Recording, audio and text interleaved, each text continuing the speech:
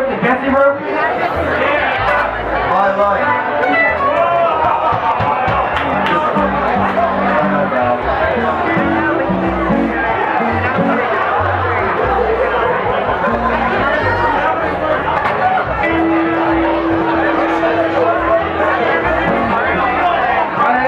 for you guys. What do you call pickle bread? Dildo joke. Alright. Hey, Wendy, this is for you wherever you are.